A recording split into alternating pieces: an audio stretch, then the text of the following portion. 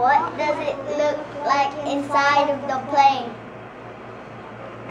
Oh, well, it was a 727 aircraft. They took out most of the seats. Um, we took lots of pictures, so we'll be able to show them to you next week when we get back. But it was all padded, padding everywhere, so there were no sharp surfaces.